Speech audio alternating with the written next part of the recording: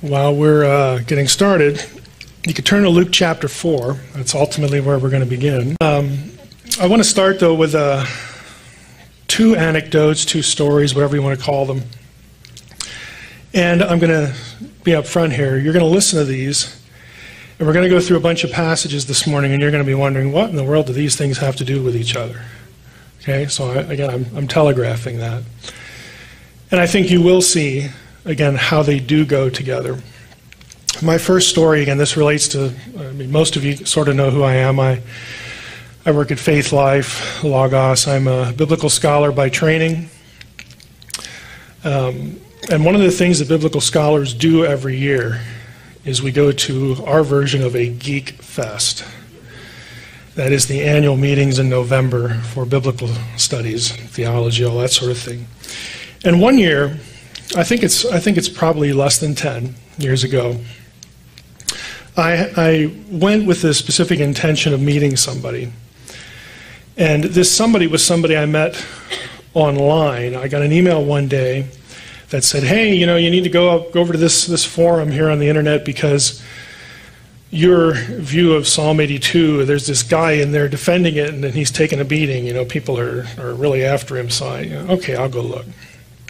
So I went and looked, and sure enough, you know, this guy's trying to defend, uh, again, what I think is pretty obviously the, the correct way to look at the passage.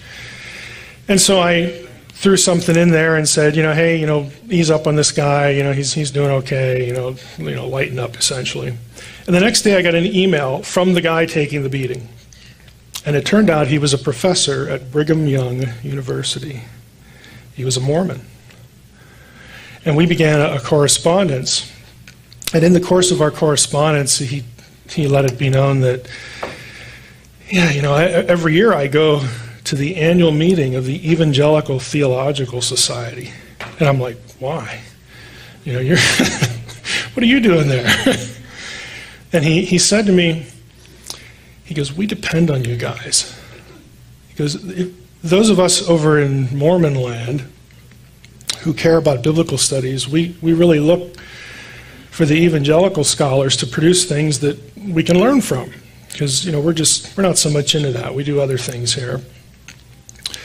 And I said, well, that's fascinating. I said, you know, as a matter of fact, this year, in the, you know, this November, I'm going to be reading a paper critiquing Mormonism's understanding of Psalm 82, because I, I don't agree with it. And he said, I'm going to be there. And sure enough, he came. He came, listened to the paper, and you know had real nice things to say. And they, they wound up, you know, he wound up asking to, to publish it. So that alone was was kind of interesting. But we went to lunch afterwards, and so there we there we are. You know, we get we get our lunch, we go find a table, we sit down, and he looks at me and he says, "Well, I have one question. I'm a Mormon, and you are not, you're an evangelical, am I going to hell? Bon appetit. Just a nice way to begin, begin your lunch there.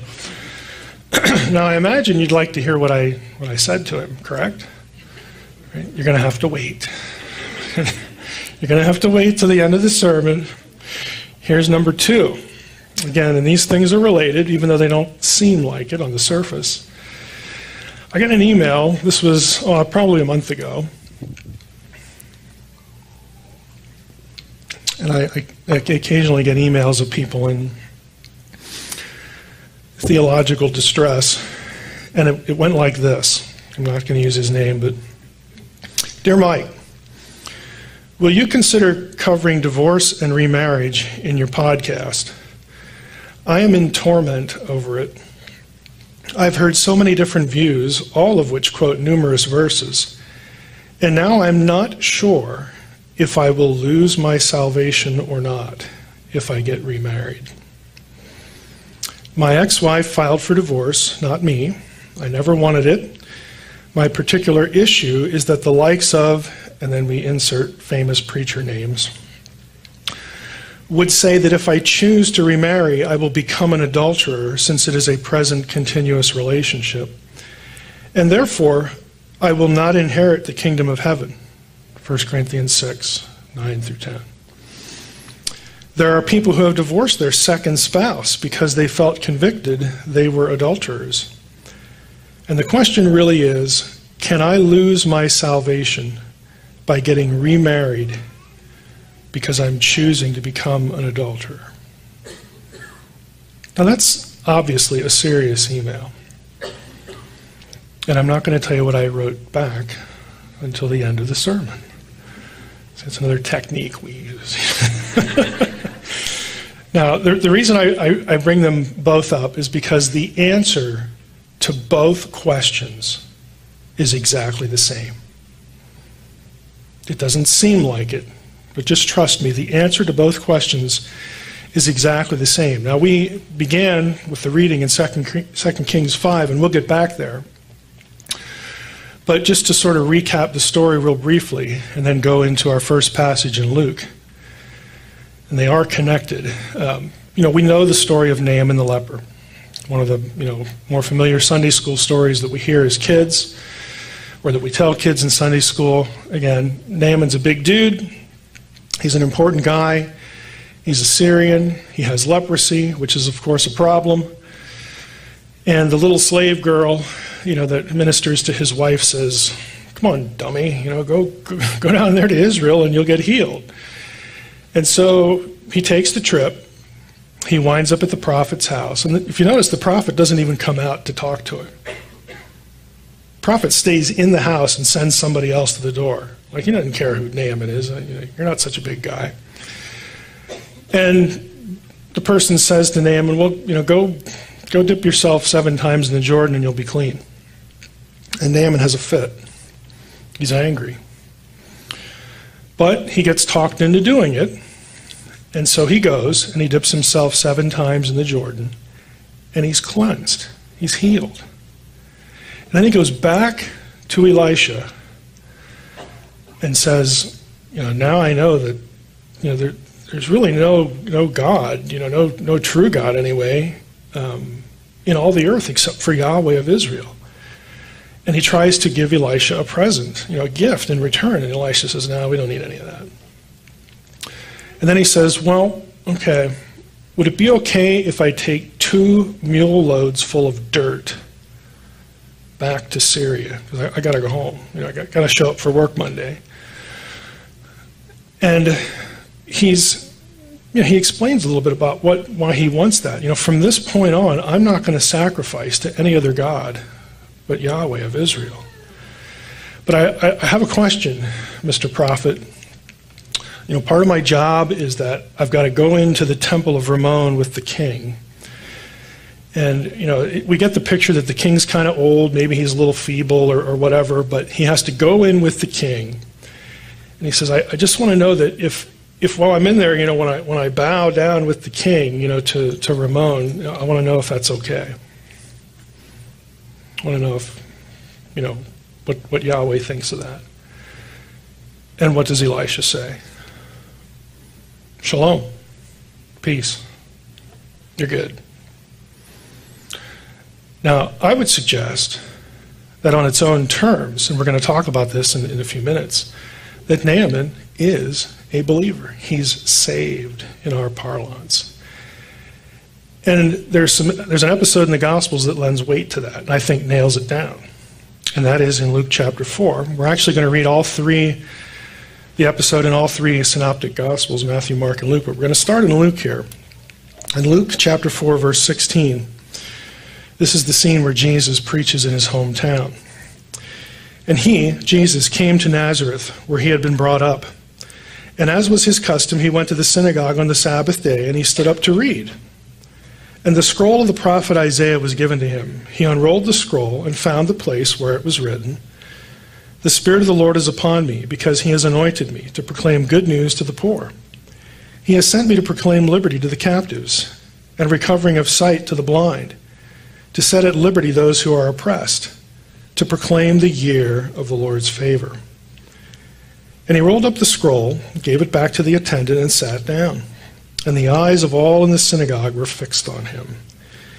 And he began to say to them, Today, this scripture has been fulfilled in your hearing. And all spoke well of him and marveled at the gracious words that were coming from his mouth. And they said, Is not this Joseph's son? And he said to them, Doubtless you will quote to me this proverb Physician, heal yourself. What we have heard you did at Capernaum, do here in your own hometown as well. And he, Jesus, said, Truly I say to you, no prophet is acceptable in his hometown. But in truth, I tell you, there were many widows in Israel in the days of Elijah, when the heavens were shut up three years and six months, and a great famine came over all the land. And Elijah was sent to none of them, but only to Zarephath in the land of Sidon, to a woman who was a widow. And there were many lepers in Israel in the time of the prophet Elisha, and none of them was cleansed but only Naaman the Syrian. When they heard these things, all in the synagogue were filled with wrath. Now, you know, we, we miss a little bit about what the connection is, but they're angry. And they rose up and drove him out of, out of the town and brought him to the brow of the hill on which their town was built, so that they could throw him down the cliff. But passing through their midst, he went away. Let's go to Matthew. Give a second to get there. Matthew 13, 53 through 58. This is the same episode. We're going to get a little bit of a different flavor here. When Jesus had finished these parables, he went away from there, and coming to his hometown, he taught them in their synagogue, so that they were astonished and said, where did this man get this wisdom and these mighty works? Is not this the carpenter's son? Is not his mother called Mary? Are not his brothers James and Joseph and Simon and Judas? And are not all his sisters with us? Where then did this man get all these things? And they took offense at him. But Jesus said to them, A prophet is not without honor except in his hometown and in his own household. And he did not do, this is the key thought here, he did not do many mighty works there because of their unbelief. Okay, store that away and go to Mark. Again, same episode. Mark chapter 6. Verse 1. He went away from there and came to his hometown, and his disciples followed him. And on the Sabbath he began to teach in the synagogue, and many who heard him were astonished, saying, Where did this man get these things? What is the wisdom given to him? How are such mighty works done by his hands? Is not this the carpenter, the son of Mary, and the brother of James and Joseph and Judas and Simon? And are not his sisters here with us? And they took offense at him. And Jesus said to them, A prophet is not without honor except in his hometown and among his relatives and in his own household. And he could do no mighty work there, except that he laid his hands on a few sick people and healed them. And he marveled, he thought, he marveled because of their unbelief. Now, why? Let's go back to the Luke passage. It's the only place in the New Testament that Naaman is mentioned by name, in conjunction with the widow of Zarephath. Why is Jesus referencing these two people? Why do they get so angry when he does? Because Jesus is using them as templates, as perfect examples of faith. They were believers, they believed. Let's go back to 1 Kings 17. Let's read the widow of Zarephath story. 1 Kings 17. We know Naaman believed because now I know there's no God on all the earth except in Israel, okay? And that's a good example. Jesus approves of Naaman. But let's just, you know, throw the widow in here. The widow of Zarephath, 1 Kings 17, verse 8. Then the word of the Lord came to him. This is Elijah. Arise, go to Zarephath, which belongs to Sidon, and dwell there. Behold, I have commanded a widow there to feed you. So he arose and went to Zarephath. And when he came to the gate of the city, behold, a widow was there gathering sticks. And he called to her and said, Bring me a little water in a vessel, that I may drink. And as she was going to bring it, he called to her and said, Bring me a morsel of bread in your hand. And she said, As the Lord your God lives, I have nothing baked, only a handful of flour in a jar and a little oil in a jug. And now I am gathering a couple of sticks, that I may go in and prepare it for myself and my son, that we may eat it and die. This is, this is all we got. And Elijah said to her, Do not fear. Go and do as you have said, but first make me a little cake of it and bring it to me. And afterward make something for yourself and your son. For thus says the Lord God of Israel The jar of flour shall not be spent, and the jug of oil shall not be empty, until the day that the Lord sends rain upon the earth. So, what does she do? She believes him. She went and did as Elijah said, and she and he and her household ate for many days. The jar of flour was not spent, neither did the jug of oil become empty, according to the word of the Lord that he spoke by Elijah. So Jesus, showing up in the synagogue, says, Yeah, I hear all these nice things you're saying about how well I read. And you've all heard about the things that I've done in Capernaum and other places. And surely somebody here is going to say, Hey, physician, heal yourself. Let's see some of those miracles that we heard about in Capernaum. Can you do that here?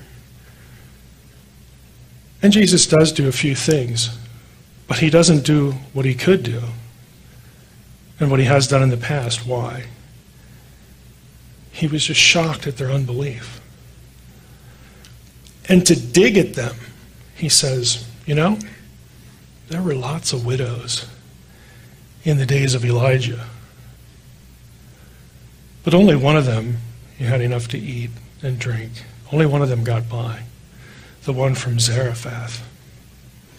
And they know the story, they know their Bible. And there were lots of lepers in the days of Elisha, but only one of them was healed Naaman, the Syrian. They know what those two people have in common. They had faith. And by using them as examples, Jesus is saying, You people are pathetic. I'm shocked at your unbelief.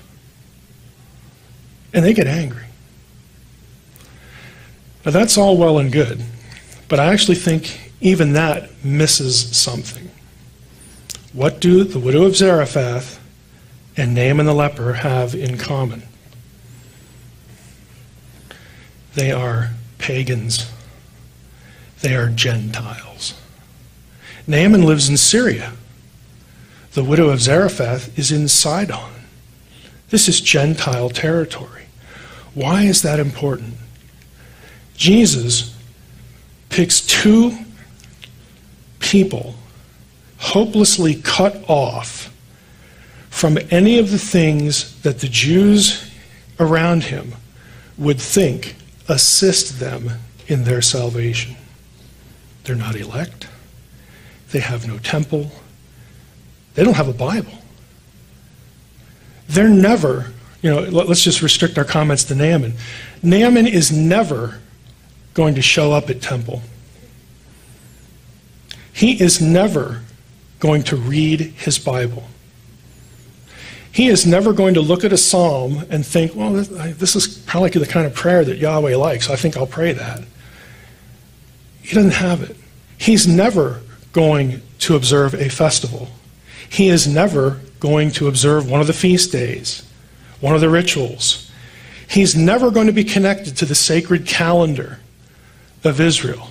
And oh, by the way, he ain't getting circumcised either. In other words, he brings nothing to the table He, he, he is totally empty handed.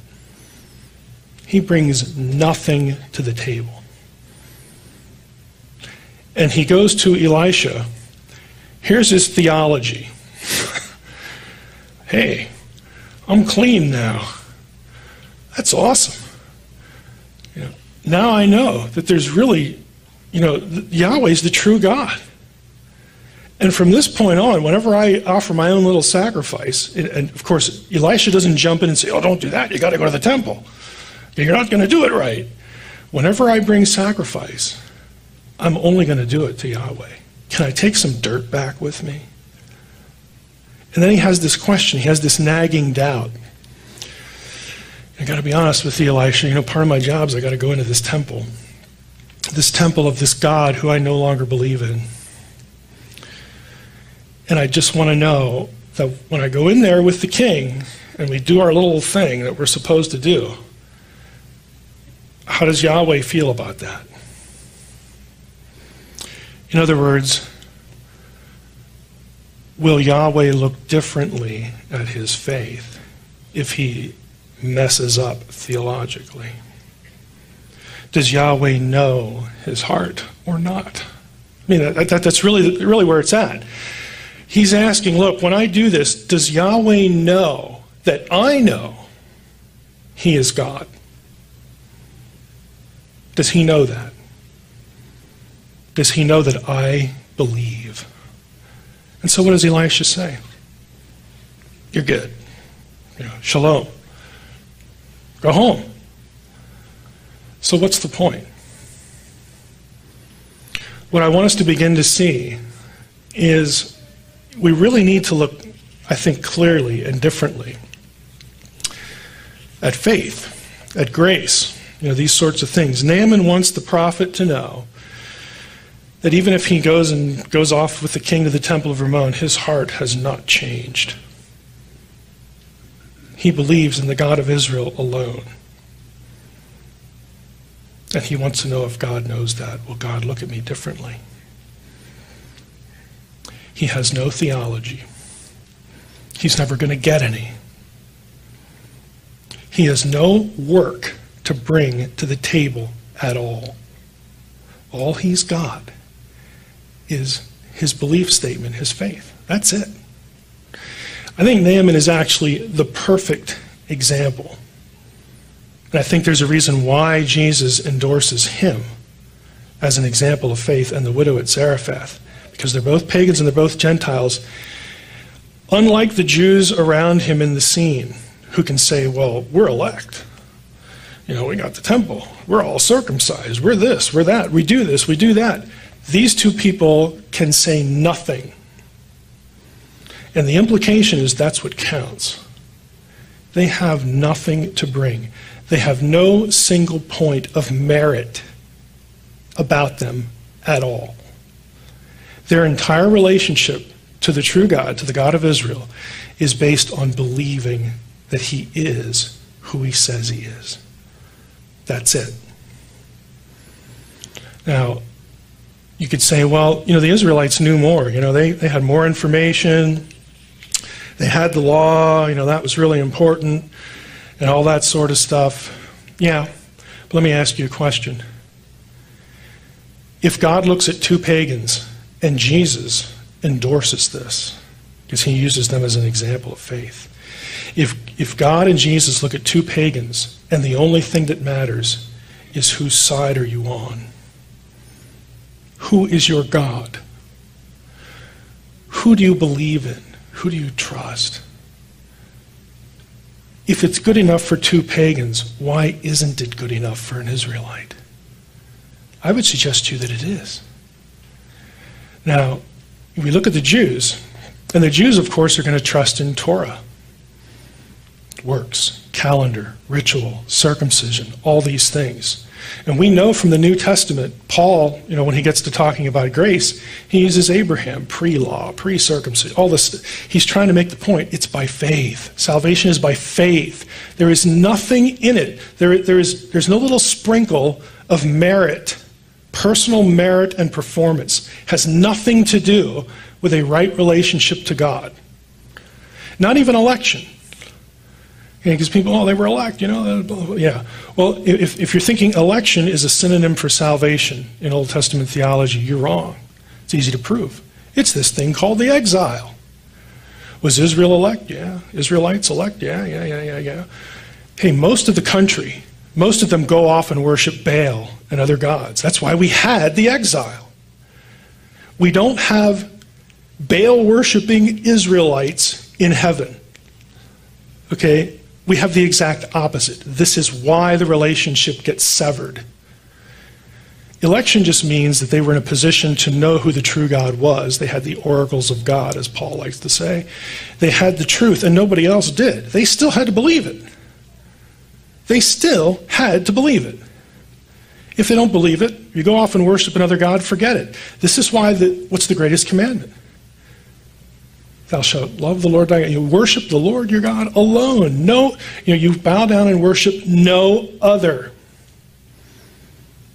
Okay, David. Okay, David's an Israelite. He's elect. He's the king. God's made a covenant with him. He commits some of the most heinous crimes that you could commit. But what he doesn't do is he never changes allegiance. There's never a question in his mind. David is He's ridiculous. Okay, he's a parody, okay, of what a believer should be. He's ridiculous. He's awful. Okay? But what he doesn't ever do is throw his allegiance to another God. He does just about everything else wrong, okay? But he never does this, and God has mercy on him. Now, he pays for his sin in, in, the, in the course of life. You know, you sow what you reap. But as far as his relationship with God, He's there. He worships no other. This is what God wants. I think we need to start thinking about grace and salvation. I, I like to use this phrase believing loyalty. Believing loyalty. It has nothing to do with personal merit. I believe, and because I believe, I am not going to worship. I'm not going to follow another God or no God at all. I might not know anything beyond that. I might be like Naaman. I might flunk a theology quiz spectacularly, and Naaman would have. But he knows who God is, and that is where he is at. That is the end of the trail. He is not throwing his allegiance to any other. Period.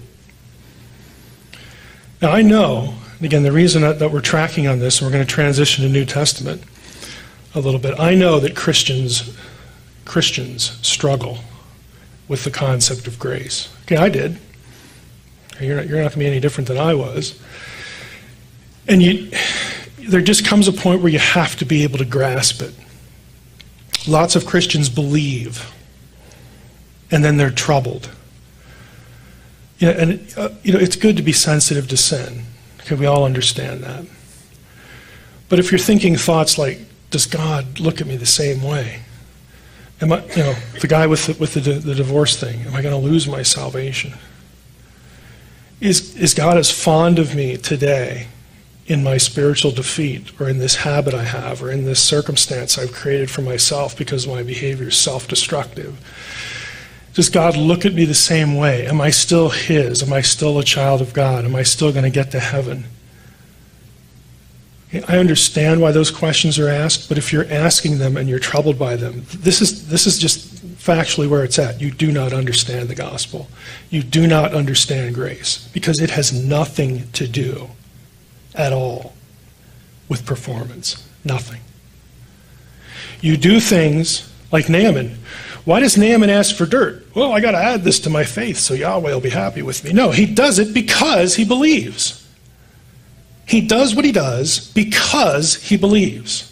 He doesn't do it to believe a little bit more. He doesn't do it, again, to stroke Yahweh. He just wants to know now, does the Lord know my heart?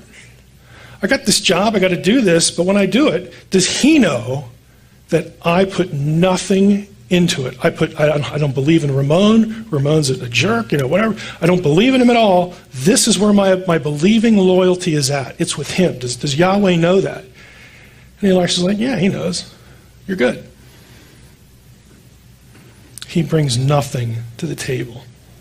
Now, when I became a, a Christian as a teenager, I, I'll, you know, big, big true confession time here, I would have flunked a theology test, believe it or not. You could have asked me about all sorts of doctrinal issues that you, I hope not, but maybe you are, that you are attaching to your status as a believer. Well, you don't believe that. I'm not sure if you're really saved if you don't believe in, you know, fill in the blank. Hey, I got news for you. I wouldn't have believed in any of it because I didn't know any of it. I knew one thing. Yeah, you know, I was Naaman. I got one thing right. Okay, and, and that is sufficient. That is all God is interested in. Period. End of story. Now, he knows I'm a doofus, okay? But that's all he cares about. Which side are you on? Believing loyalty. Are you, is this your God? Are you going to go worship another or no God at all? Are you going to embrace Christ or something else or nothing at all? That's the question. Now, this is actually consistent in the New Testament. Go to Romans 5. You know, we all know this passage. We all know this passage, but we, I think we need to think about it a little bit more. Romans 5, we're going to read verses 6 through 8. I can find it here. Romans 5, verses 6 through 8. For while we were still weak, at the right time Christ died for the ungodly. For one will scarcely die for a righteous person, though perhaps for a good person one would dare even to die. But God shows his love for us in that while we were still sinners, Christ died for us. Now, notice not only what the passage says, but notice what it doesn't say. Let me give you a few examples here. It doesn't say, while we were cleaning up our act, Christ died for us. While we were correcting our theology, Christ died for us. While we were regular in prayer, Christ died for us. While we were faithful in reading Scripture, Christ died for us. Doesn't say any of this. While we were attending church regularly, Christ died for us. While we were having more spiritual victories than losses, Christ died for us. And you can fill in the blank. While we, while we were not cheating on our spouses, Christ died for us. While we weren't doing XYZ bad thing, Christ died. It doesn't say any of that. In fact, it says the exact opposite. A couple paraphrases here. While we were wicked, while we were alienated from God because we wanted to live the way we wanted to live, because we didn't want God or anyone else telling us we couldn't have or do what we wanted. Then Christ died for us.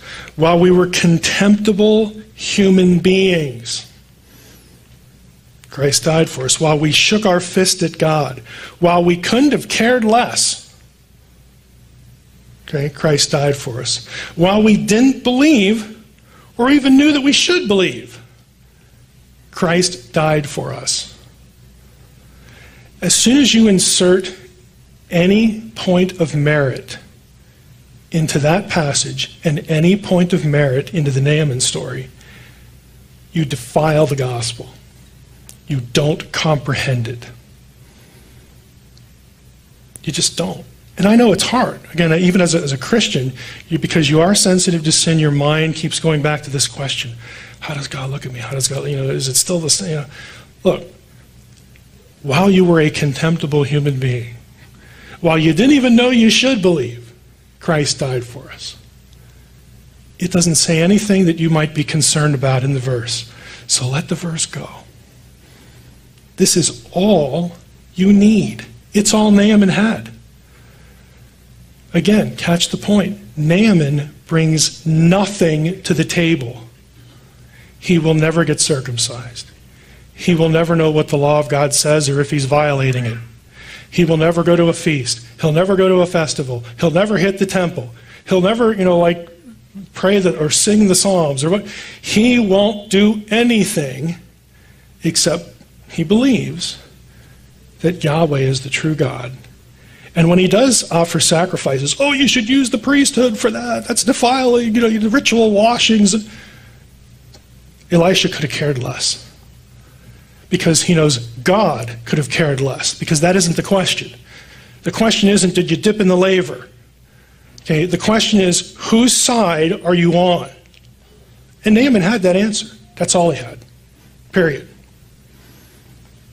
And that is how we need to look, not just in terms of a theology lesson. How were people saved before Jesus? Okay, no, this is about you. Okay, this is about us understanding what the gospel is and is not. Now, back at our academic conference, I'm sitting there with my fork in my hand, and this guy says, I'm a Mormon, and you're not. And, uh, you know, you're an evangelical, so am I going to hell? And I looked at him and I said, You know, I'm going to answer that question the same way I would answer it if I was looking at a Jehovah's Witness, a Catholic, a fundamental Baptist, a Lutheran. I don't care, fill in the blank. I don't care what your tradition is. I don't care what you believe about other things. It doesn't matter because the answer is always the same. I don't care what you are. If you can look me in the eye, this is the way I said it to him. If you can look me in the eye and say to me that my hope for salvation, the forgiveness of my sins, my hope for eternal life, is based entirely on what Jesus did on the cross, and I bring no merit at all to the issue. No works, no performance, nothing. If I can say that I believe that exclusively what Jesus did on the cross is, is how my sins are forgiven and my hope of eternal life. If you can look me in the eye and say that, you're in. If you can't, you're not. That's just the way it is. Now, I might, you know, and we talked you know, a little bit after, I, I, mean, I might think that your theology is goofy hey, my theology was goofy when I got saved, okay, when I became a believer. Some people would say, your theology is still goofy, Mike. Okay? I get that. But that isn't the question. The question is not, can you articulate this point of doctrine to my satisfaction? Or to the satisfaction of somebody who wrote XYZ Creed. That is not the question. The question is, upon what are you basing forgiveness of sins and eternal life? It has nothing to do with merit at all. And he looked at me and he said, I'm not completely sure, but I think I can say that. And at that point, I'm not going to look at the guy and say, Well, you must be a liar because you're a Mormon. No, I'm going to look at the guy and think, I sure hope so. Because that's the gospel. That's what you need to focus on. You know, maybe next year we can have some theological discussion, but this is the question today. And the, and the question and the answer is going to be the same no matter who you are. I don't care what you are. Can you say this or not? Now, as far as the email, here's part of what I wrote back. Dear XYZ, the fact that you're not sure whether you'll lose your salvation over a divorce and remarriage makes me wonder if you understand the gospel. Salvation cannot be earned, it was extended to sinners, not to people in the process of cleaning up their act. Romans 5 8. Consequently,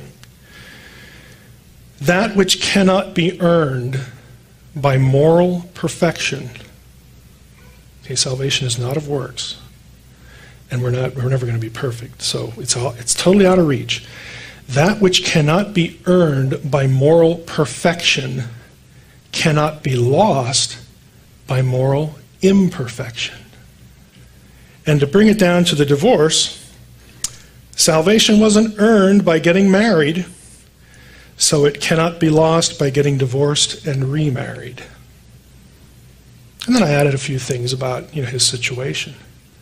But he wrote back and said, that was helpful. Now we can look at that and say, look, look, dude, you're in a church. You know, you're in a. How did you not know this? It's difficult. It's difficult to surrender any sense of merit. In part because we're sensitive, you know, to sin. But you've got to get over the hump that God looks at you based on something you do. This is not how your relationship started. Okay, Christ didn't die for you while you were in the process of cleaning up your life. Okay? He ain't waiting around for that. He died for you while you were yet a sinner. That's it. Period. Exclamation point, really. That's what you need to grasp. And again, I know Christians who just struggle with this.